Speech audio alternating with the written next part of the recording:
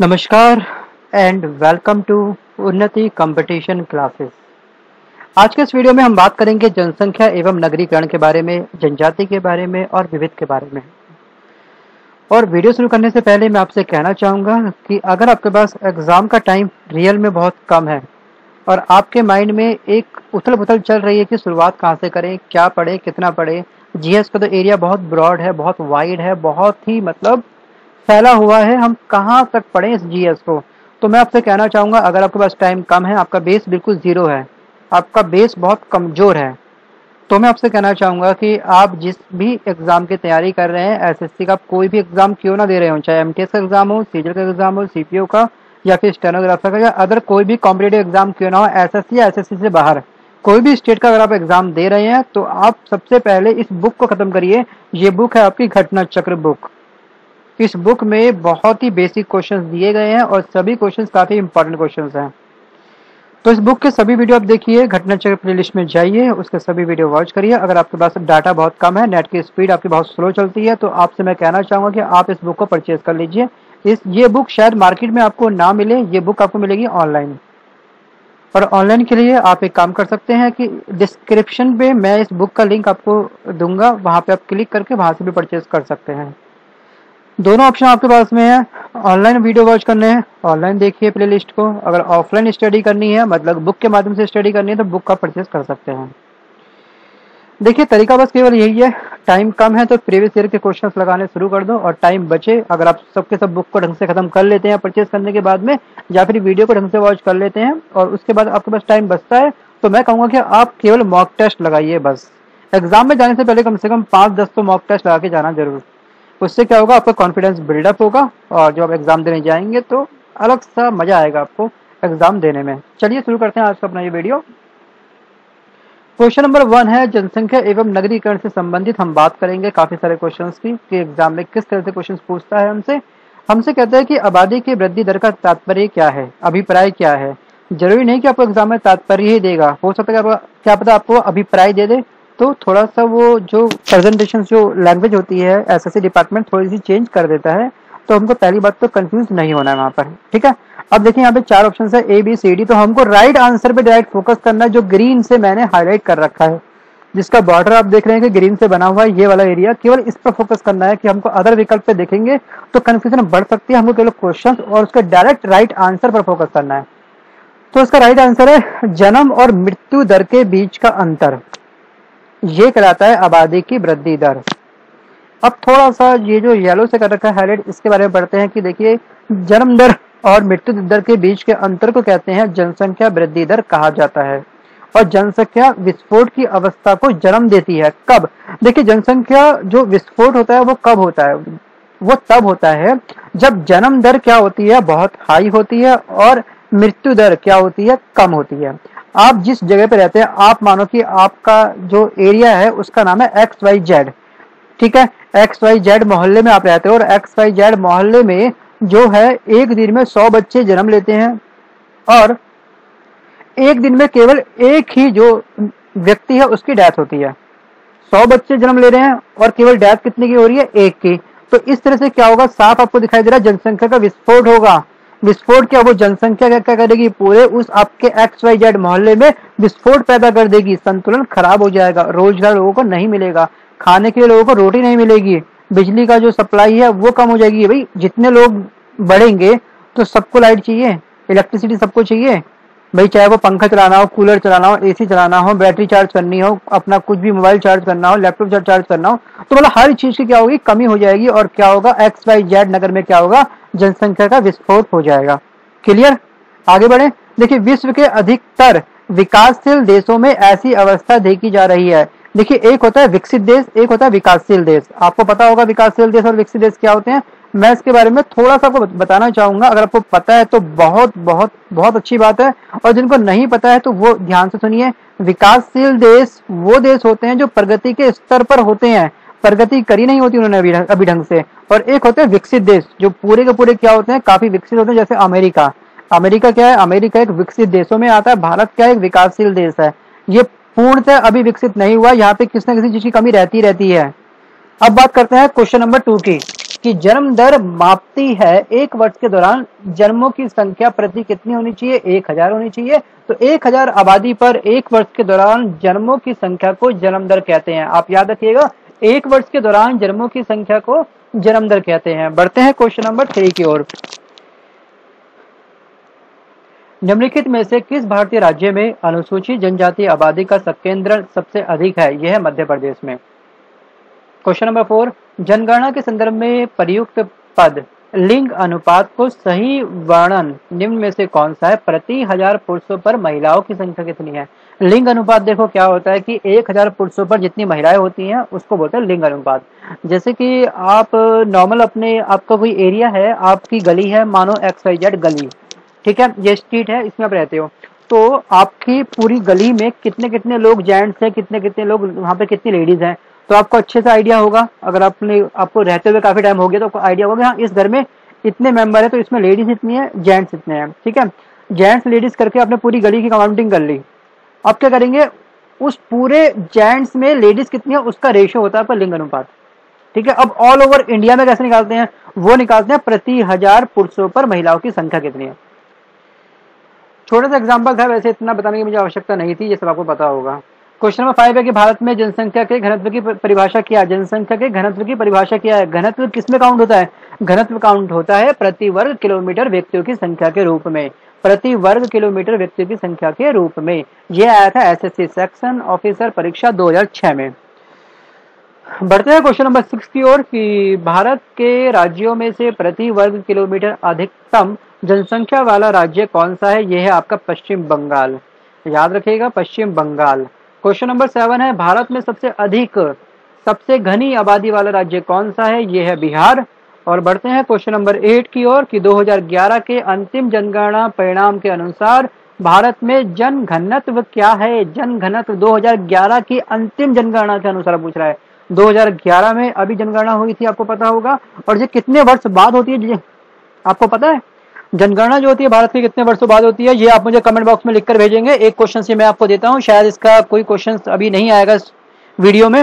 अगर आएगा तो मैं कुछ नहीं कह सकता। अगर आएगा तो फिर आप कमेंट मत करिएगा। ठीक है? ये है आपका 382 बढ़ते हैं क्वेश्चन नंबर नाइन की ओर कि उस राज्य का नाम बताएँ जिसमें घनत्व सबसे कम है। ये है आपका AP Arunachal Pradesh. Question number ten है 2001 की जनगणना के अनुसार याद रखिएगा 2001 की बात कर रहा है, जनसंख्या का अधिकतम घनत्व किस राज्य में है? यह है दिल्ली में। 2011 के अनुसार देश में सबसे अधिक घनत्व निम्न में से किसने दर्ज किया? ये करा दिल्ली ने। 2000 क्वेश्चन नंबर टेन में 2001 था और 2011 में आपने देखा तब भी क्या था? ये दिल्ली ही था। आप याद रखिएगा, दिल्ली। भारतीय जनगणना के इतिहास में किस काल अवधि को आगे की ओर एक बड़ी छलांग कहा जाता है? बहुत बहुत बहुत प्यारा क्वेश्चन है। मैं कहूँगा बहुत प्यारा क्वेश्चन है, इसको नोट मत करिएगा। ठीक है? मैं फोर्स कर रहा हूँ नोट मत करिएगा। अब आप बोलोगे, भाई वाह, प्यारा क्वेश्चन है नोट मत करना ये क्या बात हुई भाई बात हुई। इसको नोट मत करिए, इसको भी तुरंत याद करिए। इसलिए बोल रहा हूँ नोट मत करिएगा इसको। तो 1961 से लेकर के 71 के बाद में क्या हुआ? इस काल के बीच में जनसंख्या जो थी निरंतर बढ़ती चली गई, बढ़ती चली गई, बढ़ती चली गई। तो इसमें डिक्रीज नहीं हुई भारत की जनसंख्या। तो इसलिए बोला गया इसको आगे की और बड़ी छलांग। बड़ी छलांग का मतलब एक लंबा दायरा उसने तय करा। किसने? जनसंख्या ने। जनसंख्या लंबा दायरा कब करेगी तय? जब जनसंख्या बढ़ेगी। ठीक है? याद रखिएगा 1961 से 1971 के बीच में। अब बढ़ते हैं क्वेश्चन नंबर 13 की ओर। हाँ इसी के संबंधित मैं एक बात थोड़ा सा और करूँगा। देखिए, इसमें बताया गया आपको कि इस काल अवधि को आगे की ओर एक बड़ी छलांग कहा गया है। कुछ खास नहीं है। चलिए, क्वेश्चन नंबर थर्टीन है आपका कि भारत की जनसंख्या में नेगेटिव वृद्धि दर किस दशक में दर्ज की गई? नेगेटिव वृद्धि दर मतलब करके जनसंख्या कम हो गई। देखिए, हर चीज़ का बैलेंस बहुत ज़रूरी है। जनसंख्या का ज़्यादा बढ़ना भी हानिकारक है और जनसंख्या का नेगेटिव होना मतलब कम होना निरंतर वो भी हानिकारक होता है। तो नेगेटिव वृद्धि दर किस दशक में दर्ज की गई? ये ये करी गई 1911 से 1921 के बीच में। और इसमें कितने नेगेटिव परसेंट हुआ? आपसे प्रतिशत तो कम से कम नहीं पूछेगा, लेकिन हाँ जो बच्चे स्टेट पीछे से तैयारी कर रहे हैं, जिनका यूपी का एग्ज़ाम होने वाला है यूपी पीसीएस का या फिर यूपी की कोई भी तैयारी करते हैं एमपी की कर रहे हैं, उत्तराखंड का कोई भी आप एग्ज़ाम दे रहे हो तो उसमें आपसे परसेंटेज पूछ सकता है। लेकिन एसएससी में अब तक कभी भी परसेंटेज नहीं पूछा गया है। तो अब याद रखिएगा माइनस के ज़ीरो की गिरावट हुई थी। कितने परसेंट की? 0.31 काफ़ी माइनर था, लेकिन अगर बात करी जाए जनसंख्या के बारे में तो जनसंख्या आपकी सौ, दो सौ, हज़ार लाख में नहीं होती। तो इसलिए माइनस ज़ीरो परसेंट भी एक बहुत बड़ा अमाउंट होता है। आगे बात करते हैं क्वेश्चन नंबर फोर्टीन की। न्यूनतम स्त्री पुरुष अनुपात वाले भारतीय राज्य की पहचान करे। कौन सा है? ये है आपका हरियाणा। क्वेश्चन नंबर फिफ्टीन कि कौन सा संघ राज्य क्षेत्र बालक, बालिका अनुपात के सबसे निचले हिस्से पर है, यह चंडीगढ़। क्वेश्चन नंबर सिक्सटीन जनसंख्या 2001 के के आधार पर। शहरों का सही क्रम कौन सा है? तो यह आपका ग्रेटर मुंबई, दिल्ली, कलकत्ता, चेन्नई और बेंगलोर। याद रखेगा क्या? ग्रेटर मुंबई, दिल्ली, कलकत्ता, चेन्नई और बेंगलोर। बढ़ते हैं अगले क्वेश्चन की ओर। क्वेश्चन नंबर 17 की पिछली जनगणना 2001 में जनसंख्या वृद्धि की सबसे अधिक दर भारत के किस राज्य में दर्ज की गई? ये करी गई नागालैंड। और जबकि 2011 की जनगणना के अंतिम आंकड़ों के अनुसार सर्वाधिक जनसंख्या वृद्धि वाला राज्य था मेघालय। पहले था नागालैंड, अब क्या है वृद्धि दर वाला राज्य? अब है आपका मेघालय। याद रखिएगा क्वेश्चन नंबर 18 है कि 2001 की जनगणना के अनुसार भारत की आबादी में 40 वर्ष से कम आयु के लोगों का परसेंटेज कितना है? यह है 75 परसेंट और इसी के साथ देखिए, इसमें बताया गया, देखिए 40 वर्ष से कम आयु के लोगों का परसेंटेज कितना है? यह है आपका 75 परसेंट क्वेश्चन नंबर 19 2001 की जनगणना के अनुसार जनसंख्या की दृष्टि से भारत का सबसे बड़ा राज्य कौन सा है? यह है उत्तर प्रदेश। क्वेश्चन नंबर 20 कि भारत के किस राज्य में गरीबों का प्रतिशत सबसे अधिक है? तो ये है उड़ीसा का। याद रखिएगा, कहाँ का है ये? ये है आपका उड़ीसा का। क्वेश्चन नंबर ट्वेंटी वन कि भारतीय आबादी का कितना परसेंट आधिकारिक रूप से गरीबी रेखा के नीचे है? ये है थर्टी परसेंट से कम। और बात करते हैं क्वेश्चन नंबर ट्वेंटी टू की। वर्ष 2001 की जनगणना के अनुसार उन्नीस सौ इक्यानवे से 2001 की अवधि के दौरान जनसंख्या की औसत वार्षिक वृद्धि दर है लगभग कितनी? 1.93 1.93 आगे बात करते हैं क्वेश्चन नंबर 23 की आवास और शहरी गरीबी उन्मूलन मंत्रालय द्वारा हाल ही में जारी किए गए आंकड़ों के अनुसार गंदी बस्तियों के सबसे अधिक संख्या निम्न में से किस राज्य में है? किस राज्य में सबसे गंदी क्या है? बस्तियाँ हैं, जहाँ पे काफ़ी क्या है? गंदगी बहुत ज़्यादा है साफ़ सफ़ाई कम है जहाँ पर तो वो है आपका आंध्र प्रदेश। याद रखिएगा, क्या है वो? वो है आपका Andhra Pradesh. Question number twenty four. कौन सा जोड़ा ट्विन सिटी नहीं है? देखिए, ट्विन सिटी कौन कौन सा है? पहले तो अभी नोट कर लीजिए। हैदराबाद और सिकंदराबाद जो है, वो है आपका ट्विन सिटी। ये आप देख रहे हैं नीचे। हैदराबाद और सिकंदराबाद ट्विन सिटी में आते हैं और दुर्गापुर और आसनसोल, ये भी ट्विन सिटी में आते हैं और कोलकाता और हावड़ा, ये भी ट्विन सिटी में आते हैं और पुरानी दिल्ली और नई दिल्ली, ये क्या आपके ट्विन सिटी में आते हैं। तो यहाँ पे क्या नहीं है क्वेश्चन पूछा गया फोकस करिए नहीं पर, ठीक है? ये पूछा गया नहीं है। तो नहीं यहाँ पे देखिए ए बी सी तीनों हैं, लेकिन नहीं है क्या डी तो ये यहाँ पे दिल्ली और नई दिल्ली ट्विन सिटी नहीं है। जो है आपका पुरानी दिल्ली और क्या है आपका नई दिल्ली। ये ट्विन सिटी में आते हैं। तो इसलिए डी क्या होगा? हमारा यहाँ पर राइट आंसर होगा। जो नहीं है क्या ट्विन सिटी बात करते हैं क्वेश्चन नंबर ट्वेंटी फाइव की भारत में सबसे अधिक साक्षर संघ राज्य कौन सा है? तो यह है लक्षद्वीप। और इसकी साक्षरता दर कितनी है? यह है 91.8 परसेंट संघ राज्य की बात कर रहा है, ध्यान रखना, संघ राज्य की बात कर रहा है। अगर वैसे सिंपल राज्य की बात करी है तो वो होती है केरल। क्या होती है? Kerala.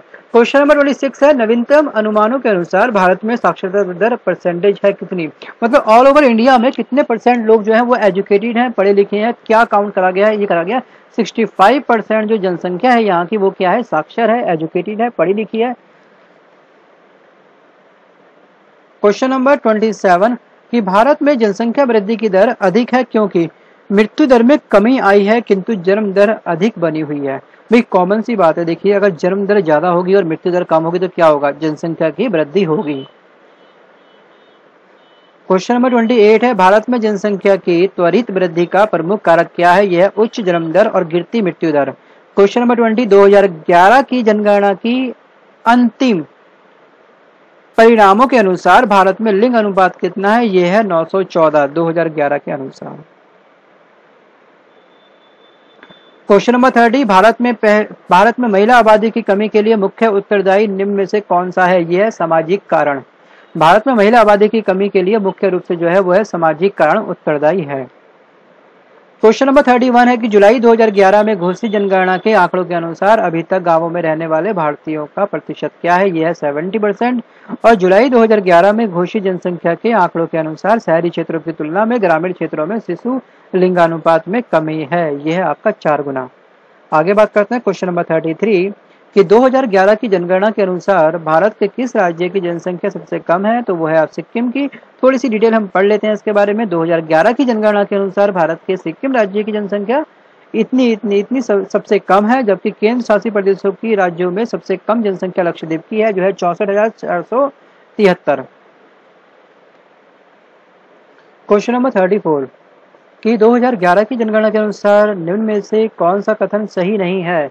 कौन सा कथन राइट नहीं है पूछा गया है तो इसमें है, साक्षरों की वृद्धि में पुरुषों की संख्या महिलाओं से अधिक है। तो ये गलत है, ठीक है? तो ये कथन क्या है? सही नहीं है। क्वेश्चन नंबर थर्टी फाइव है, वर्ष 2011 की जनगणना के अनुसार कौन सा संघ राज्य क्षेत्र बाल लिंग अनुपात के निचले स्थान पर है? तो वो है आपका Chandigarh.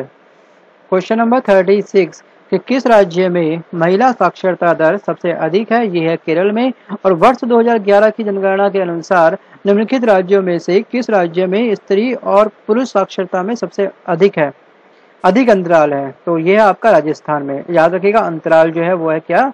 राजस्थान में। अब थोड़ा सा इसकी डिटेल हम पढ़ लेते हैं। देखिए, राजस्थान में जो पुरुषों का परसेंटेज है, साक्षरता के बारे में बात कर रहे हैं, वो है एटी परसेंट, जबकि स्त्री जो है केवल फिफ्टी टू परसेंट क्या है, उसमें पढ़ी लिखी होती है।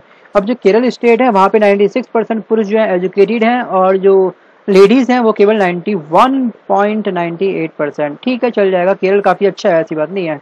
एजुकेशन के मामलों में मैक्सिमम जो है केरल में एजुकेशन है।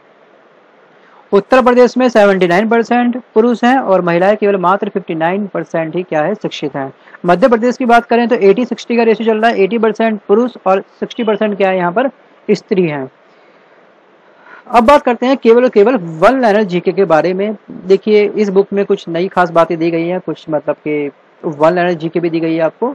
तो देखिए, भारत के केरल तथा पुडुचेरी राज्य में स्त्री पुरुष अनुपात प्रति हज़ार पुरुषों की तुलना में स्त्रियों की संख्या एक हज़ार से अधिक है।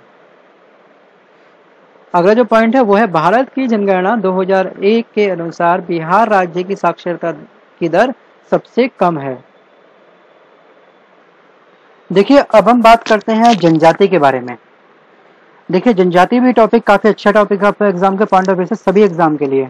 मैं स्पेशल एसएससी नहीं बोलूँगा। सभी एग्ज़ाम में एक ना क्वेश्चन एसएससी में या फिर भी अदर एग्ज़ाम में जनजाति से संबंधित पक्का पूछता है। जैसे पूछेगा कि भील जनजाति किस राज्य से या किस प्रदेश से संबंधित है? या फिर आपसे पूछेगा, थारू, गोंड या फिर टोडा।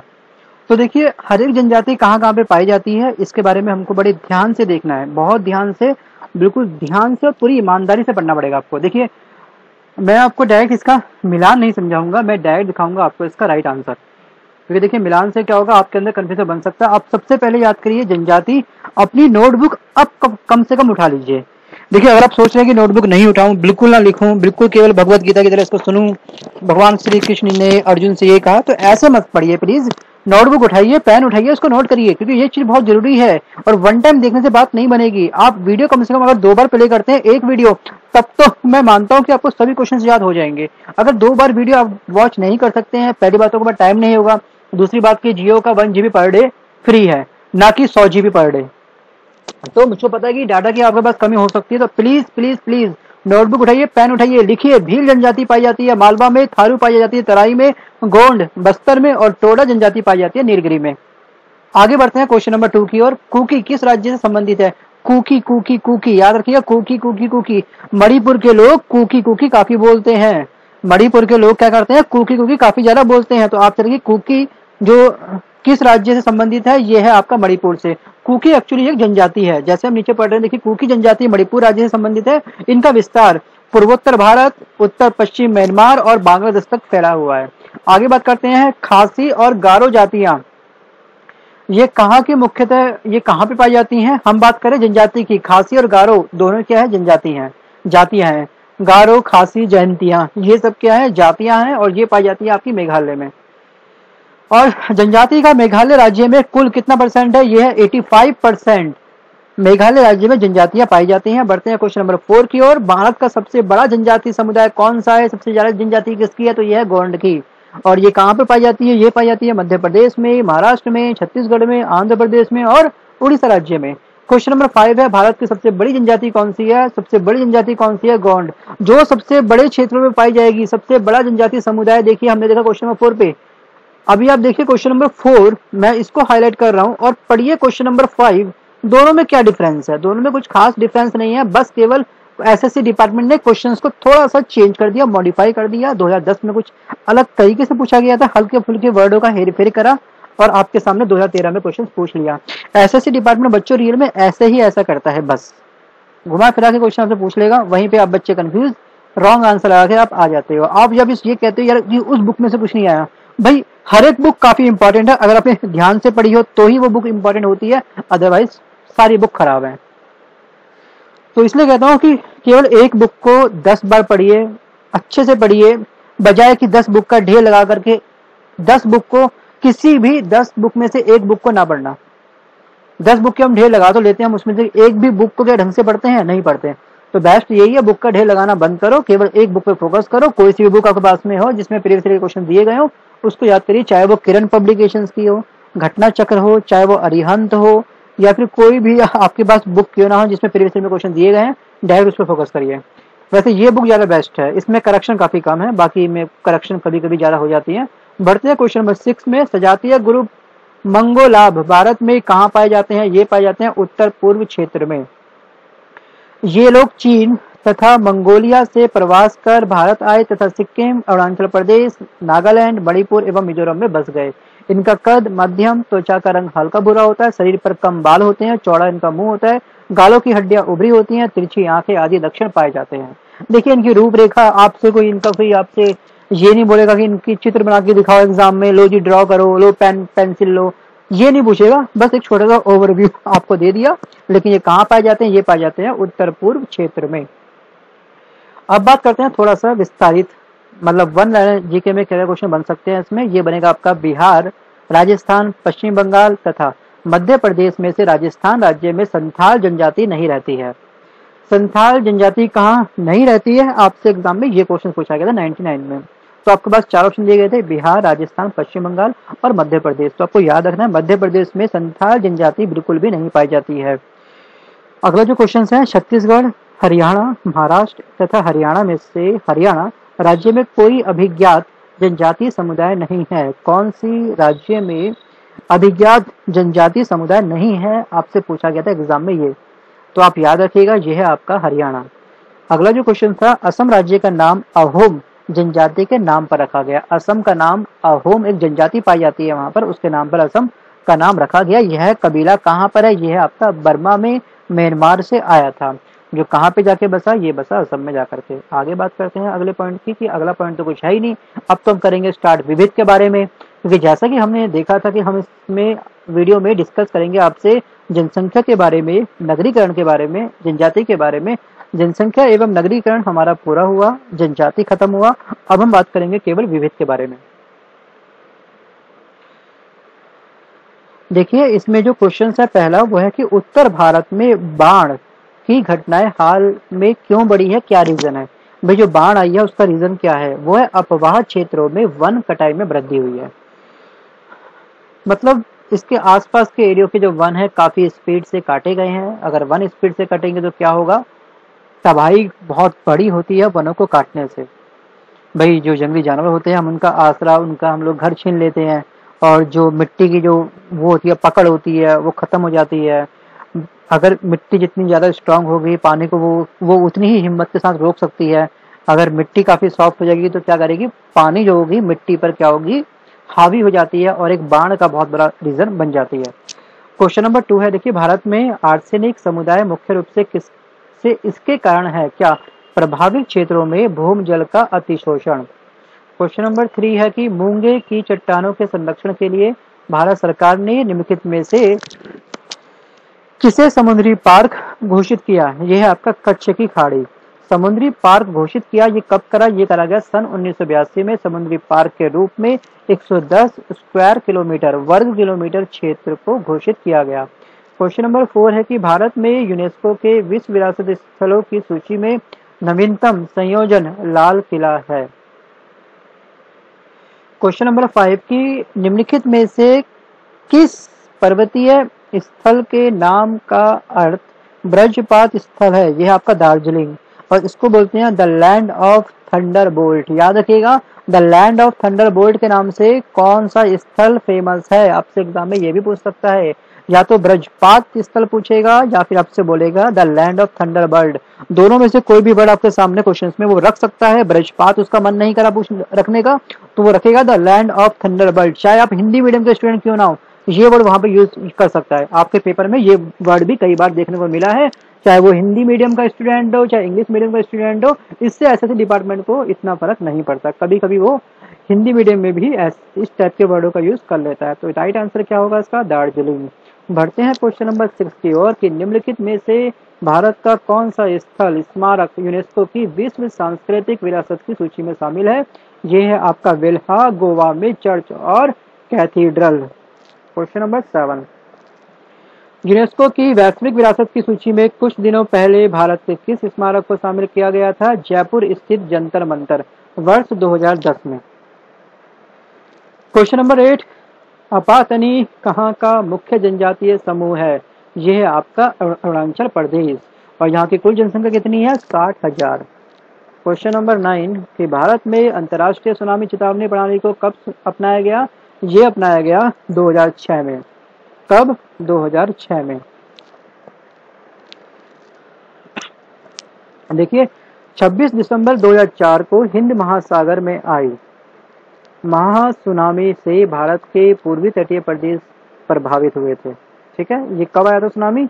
ये आया था 26 दिसंबर 2004 को। शायद आपको इसके बारे में पता भी हो। आपने सुना भी होगा। टी सुनामी सुनामी आया। कहाँ पे आया था? ये आया था आपके भारत के पूर्वी तटीय प्रदेशों में इसने बहुत बड़ी तबाही मचाई। ठीक है? और भारत में अंतर्राष्ट्रीय सुनामी चेतावनी प्रणाली को कब से अपनाया गया? ये भी आपको याद रखना है 2006 से। क्वेश्चन नंबर टेन है कि निम्नलिखित में से कौन सा शिपयार्ड भारतीय नौसेना के लिए युद्ध पोतों का निर्माण करता है? ये करता है Cochin shipyard. Question number eleven, निम्नलिखित में से कौन एकाधिकार का एक एग्ज़ाम्पल है? तो यह है भारतीय railway. Question number twelve. Bharat का उपग्रह प्रमोचन केंद्र कहाँ स्थित है? यह है श्री हरिकोटा में। और श्री हरिकोटा कहाँ पर है? यह आपका आंध्र प्रदेश में। Question number thirteen. अंट्राकटिक में अनुसंधान करने के लिए भारत सरकार द्वारा स्थापित अनुसंधान केंद्र का नाम क्या है? यह आपका दक्षिणी Gangotri. Question number fourteen. Bhabha, इसको बोलते हैं भाभा। परमाणु अनुसंधान केंद्र स्थित है कहाँ पर? थोड़ा सा इसके पहले मैं बताना चाहूँगा, डिटेल में पढ़ते हैं हम लोग इसका। इसका राइट आंसर जो है, वो आप देख रहे हैं बी है परमाणु कार्यक्रम के संबंध में निर्णय लेने के लिए सर्वोच्च संस्था जो है टाटा एटॉमिक एनर्जी कमीशन का अगस्त 1948 में गठन किया गया। इस दिशा में प्रगति तभी प्रारंभ हुई जब 1954 में ट्रॉम्बे मतलब ये है मुंबई के पास में परमाणु संस्थान की स्थापना करी गई। मुंबई में ही इसको काउंट करते हैं, बट ये मुंबई के पास में है। इस संस्थान का नाम बदलकर 1960 में भाभा परमाणु अनुसंधान कर दिया गया। पहले इसका नाम क्या था और अब इसका नाम क्या है? दोनों ही आपको याद रखने हैं। अभी जो है 1960 में बदलकर इसका नाम बदलकर वर्ष 1960 में रख दिया गया। क्या? भाभा अनुसंधान केंद्र।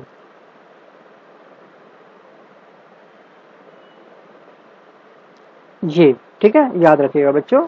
चलिए बढ़ते हैं क्वेश्चन नंबर फिफ्टीन की ओर, कि राष्ट्रीय बाण आयोग इसको बोलते हैं आरबीए किससे संबंधित है, ये संबंधित है आपका बाण से। जैसे कि आपको देखिए सिंबल दिखाई दे रहा है कि राष्ट्रीय बाण आयोग का काम क्या होगा। भाई, बाण से संबंधित तो काम करेगा वो। भाई, निर्वाचन आयोग का का काम क्या होता है? भाई, जो होता है, चुनाव का जो काम होता है, वो कौन करता है? निर्वाचन आयोग, चुनाव निर्वाचन आयोग। तो कॉमन सी बात है बाढ़ से संबंधित बाढ़ बट आपको एग्ज़ाम में देखिए 2012 में आप लक्की थे, आपको बोला गया, राष्ट्रीय बाढ़ आयोग किससे संबंधित है? आपको इतना प्यारा हिंट दिया उसने बाढ़ आयोग बोल करके कॉमन सी बात है, आपने आंसर ए लगा रखा होगा बच्चों ने। लेकिन वो कभी कभी क्या करेगा एग्ज़ाम में आपसे पूछेगा कि आरबीआई किससे संबंधित है? देखिए आरबीए आरबीआई एक बैंक है तो वहाँ पे तो आप लोग बैंक चूज़ करेंगे, लेकिन बात कर रहे हैं यहाँ पे आरबीआई की तो ये आपका होगा बाढ़ से संबंधित। तो दोनों ही आपके पास कंसेप्ट क्लियर होने चाहिए। अगर क्वेश्चन उसने ऐसे नहीं पूछा, ऐसे पूछा तो हमको आंसर क्या लगा के आना है? क्वेश्चन नंबर 16 जो है, वो है आपका मालदीव का गंभीर पर्यावरणीय निम्न कोटिकरण। अनिवार्यतः किसके कारण माना जाता है? ये माना जाता है उच्च जनसंख्या घनत्व के कारण। अब बात करते हैं वन लाइनर जीके के बारे में। केवल एक एक लाइन में इसके आंसर रहेंगे। जैसे कि यूनेस्को की विश्व विरासत समिति द्वारा भारत की विरासतों में से उत्कृष्ट वैश्विक स्तर के लिए सिलीगुड़ी, दार्जिलिंग, हिमालय रेल बोध गया में महाबोध मंदिर, सारनाथ तथा कुशीनगर में से बोध गया में महाबोध मंदिर को मान्यता दी गई। एलोरा गुफा काशी विश्वनाथ मंदिर, कुतुब मीनार तथा मानस वन्य प्राणी अभ्यारण्य में से काशी विश्वनाथ मंदिर यूनेस्को की विश्व विरासत धरोहर की सूची में शामिल नहीं है। बाकी सब क्या है? शामिल है, केवल क्या है? काशी विश्वनाथ मंदिर जो है यूनेस्को की सूची में शामिल बिल्कुल भी नहीं है। तो याद रखिएगा, देखिए एग्ज़ाम में कभी ऐसा पूछ लेता है कि एलोरा, काशी और तुम्हारा कुतुब मीनार और मानस वन्य प्राणी अभ्यारण्य में से कौन सा यूनेस्को की सूची में शामिल नहीं है? तो आपको याद रखना है, क्या काशी विश्वनाथ मंदिर, यूनेस्को की सूची में शामिल नहीं है। आगे बात करते हैं, तिरुपति तिरुमाला मंदिर, Agra fort, sorry, Agra fort, Delhi में हिमायू का मकबरा तथा केवला देव नेशनल पार्क में से भारत की तिरुपति तिरुमाला मंदिर, यूनेस्को की विश्व संस्कृति धरोहर की सूची में शामिल नहीं है। आगे बात करते हैं, देखिए, पुष्कर मेले का आयोजन अजमेर में होता है। पुष्कर मेले का आयोजन कहाँ पे होता है? ये होता है अजमेर में और भारत का प्रथम नौसेना संग्रहालय जो है कोची बंदरगाह पर स्थापित है। कहाँ पर स्थापित है? यह कोची बंदरगाह पर स्थापित है। तो बस बच्चों, आज के इस वीडियो में बस केवल इतना ही। हमने आज क्या क्या क्या कवर करा? जनसंख्या एवं नगरीकरण, जनजाति और विविध। ये था इसका भाग सिक्स इससे प्रीवियस वीडियो अगर आपको देखने हैं और हिस्ट्री से संबंधित कोई भी वीडियो आपको देखने हैं तो आप घटना चक्र प्लेलिस्ट में जाइए, वहाँ पे आपको 20 से 25 वीडियो आपको मिलेंगे। वो सब आप वॉच करिए और उससे अधिक वीडियो भी हो सकते हैं आने वाले टाइम में। तो उन सब वीडियो को देखिए इंजॉय करिए और प्लीज़ मन लगा के पढ़ना। ठीक है? अगर पढ़ाई को आप एज ए बोझ समझ के पढ़ेंगे स्ट्रेस लेके पढ़ेंगे तो रिज़ल्ट शायद ना आए। तो इसलिए सबसे पहली बात तो अपने जो माइंड में जो आपके डर है फियर है, उसको फ़िलहाल कुछ टाइम के लिए साइड करें। अगर डर के साथ पढ़ोगे डर के साथ एक्चुअली पढ़ोगे क्या? कोई भी काम करोगे ना तो वो सक्सेसफुल नहीं होगा। अगर आप ड्राइविंग करते हैं ड्राइविंग अगर आप नई नई सीख रहे हैं, और आपके हाथ में स्टेयरिंग है गाड़ी का, या फिर आपके पास में बाइक जो चला रहे हैं बाइक का अगर आपके पास में हैंडल अपने हाथ से पकड़ रखा है, और माइंड में आपने थॉट कर रखे कहीं मेरा एक्सीडेंट ना हो जाए, कहीं कोई टच ना हो जाए, कहीं किसी को लग ना जाए तो डैम श्योर आपका कोई ना कोई बाइक आपकी जो बाइक है, वो किसी ना किसी पर्सन को ज़रूर टच करेगी। तो इसलिए डर के साथ आप एक काम करिए, काम कोई भी मत करना। पहली बात तो ये। आप देखिए छोटे छोटे बच्चे क्या होते हैं, मात्र तुम्हारे 18 साल के 16 साल के 15 साल के बच्चे आज के टाइम पे स्कूटी चला रहे हैं, बाइक चला रहे हैं काफ़ी कॉन्फिडेंस के साथ ओवरटेक करते हैं जिग चलाते हैं। क्यों? क्योंकि उनके अंदर कोई भी क्या होता है, डर नहीं होता। वो पूरी ज़िंदा दिली से सारे काम करते हैं। तो बिना डर डर के कोई भी काम करोगे तो ज़रूर और पक्का उसका पॉजिटिव रिज़ल्ट आएगा। इसलिए ईमानदारी से पढ़िए, ध्यान से पढ़िए और माइंड से अपने डर को निकाल दीजिए। इसी के साथ मैं लेता हूँ आपसे अलविदा और कहना चाहूँगा कि अगर आपने चैनल को सब्सक्राइब नहीं करा है तो please do subscribe and press the bell icon bell icon को प्रेस प्लीज़ ज़रूर करिएगा और आपका कोई भी फ्रेंड कंपटीशन की तैयारी कर रहा है, उन तक इस वीडियो को शेयर करना प्लीज़ मत भूलिएगा। आप भी बढ़िए, उसको भी आगे बढ़ने दीजिए। और अगर ये वीडियो पसंद आया तो प्लीज़ इसको लाइक करिएगा और लाइक प्लीज़ ज़रूर करिएगा अगर पसंद आया हो तो। कंजूसी मत करिएगा। ठीक है? चलिए, मिलता हूँ जल्द एक नए वीडियो के साथ में। Bye bye take care and all the best